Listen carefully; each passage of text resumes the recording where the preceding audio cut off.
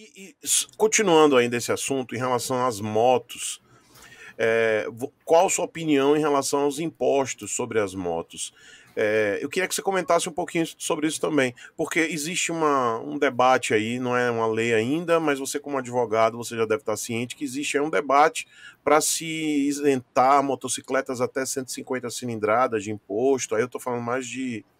Eu não sei se é imposto na produção ou se é imposto somente no IPVA, mas é, o que, que você. Queria que você comentasse um pouco para as pessoas que estão assistindo sobre os impostos nas motocicletas. Tanto faz de motocicleta de. Se existe aí uma.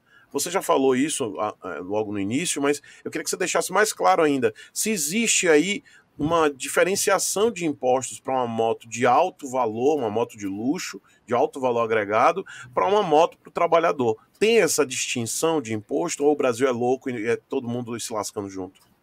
Então, Chico, o que tem ainda hoje é uma diferença de que motos a partir de 300 cilindradas, elas têm uma carga tributária bem mais elevada do que motos abaixo disso.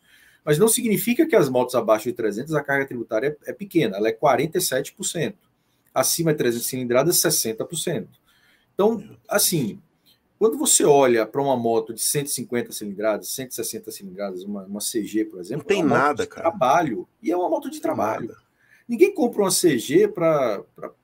Quer dizer, o cara até usa para passear, mas ninguém compra para passear. É uma moto de trabalho, tipicamente de trabalho. Então, ela teria que ser encarada como um, um, um equipamento de serviço. Então, se ela é para serviço, ela tem que ter um subsídio, tem que ter uma condição muito mais favorecida, porque vai dar um emprego, né? não um emprego, mas vai dar um trabalho a alguém que vai fazer uma entrega, que vai trabalhar como, como uma coisa que vai ser muito útil para ele. E ainda que não seja, se for para ele se deslocar de casa para o trabalho, é um cara menos ocupando ali o transporte público, que já é lotado, sabe? Tem uma série de, de aspectos que favorecem a que você desse mais subsídio a essas motos. Normalmente, motos de baixa cilindrada são motos com um nível de consumo de combustível bem menor. Então, elas até respeitam mais o meio ambiente do que uma moto de alta cilindrada, que elas emitem, consomem muito combustível, emitem muito poluente.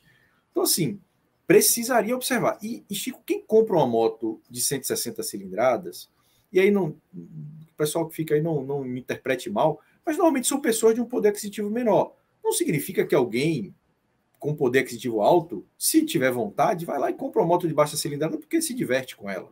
Ok.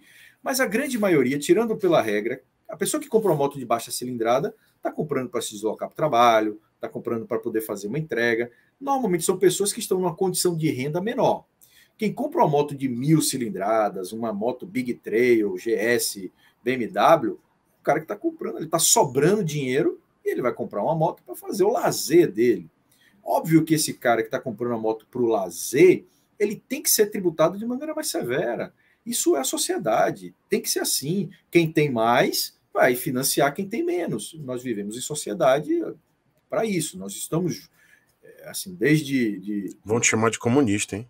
É, então, mas, mas, aí eu vou recomendar ele que leia, que leia Thomas Hobbes, que leia Rousseau, que são os filósofos antigos, que falam do surgimento do Estado, da própria existência é. do Estado. O Estado hum. existe para que as pessoas se ajudem. O ser humano, lá na, na, teoria de Thomas Hobbes, no Leviatã, ele dizia que as pessoas viviam no chamado estado natural, que era o caos. A lei da força era a única que existia. Então, quem fosse fisicamente mais forte ia lá e subjugava o mais fraco. E aí as pessoas não não e até ele diz o seguinte que o primeiro direito que se tutelou, que, se, que o ser humano desejou uma tutela foi o direito à propriedade privada. E aí por isso que eu não, não, não me enquadro no comunismo porque eu defendo a propriedade privada. Eu também.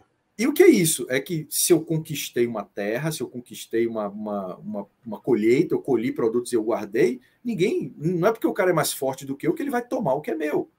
E aí as pessoas começaram a se unir em grupos para se defender disso. A união em grupo deu nascimento à figura do Estado, que nós temos hoje, que é o Leviatã, né? Para Thomas Hobbes é o, o demônio ali que, que está sobre as nossas cabeças.